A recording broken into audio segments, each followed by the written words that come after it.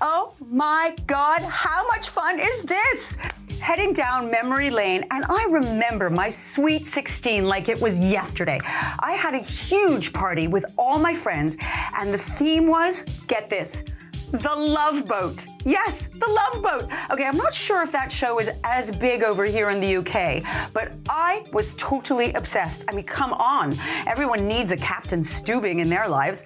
All my Sweet 16 guests received cruise ship tickets as invitation.